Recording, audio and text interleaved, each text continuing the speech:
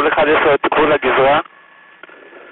מבחינתי מכת אש, פתיחה והתקפה. התקפה איטית, מבוקרת, מאובטחת, אין מה למהר. תסרקו היטב. תשמידו מה שצריך להשמיד. תחפשו את הפירים, תחפשו את האויב, ותעשו את זה הכי טוב שאתם יכולים.